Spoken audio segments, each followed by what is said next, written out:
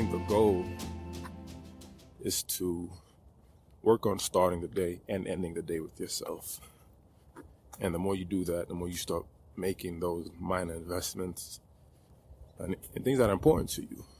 Gradually, you're able to fill in the rest of the day with time that's focused on yourself. So working on a skill, working on a craft, working on a hobby, make the day four parts. So you have morning, you have afternoon, you have that weird time before like six, seven o'clock, and then you have the nighttime. So if you do the nighttime, you do the morning for self, you're focusing on yourself. And then that afternoon, it's just, you know, your regular work. And at some point, you could cut back that, you could cut back those hours to being part time. And from there, now you have the morning, you have the, that weird late afternoon, evening, and you have the night for yourself.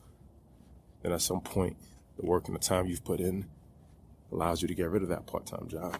And now the whole day is just dedicated to what you love and what you want to do. It's progress, but it takes time. It takes time, but I think that's a good way to look at it. So the mindset of starting a day with, with yourself is acknowledging that it's balancing energy. That's a reciprocity. Sometimes you you reciprocitize with yourself. I just spent six, five hours asleep. I'm rested. When my body wakes up, I don't I don't wake up from an alarm.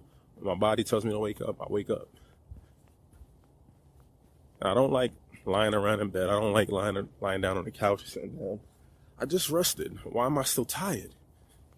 I get up, I wake up, and I do something high energy to help me prepare for the day. That's why I say I start with myself. I start with myself. I created a foundation for my energy. This is the high of my day, and I control how the rest of it is going to flow. No, no one else will.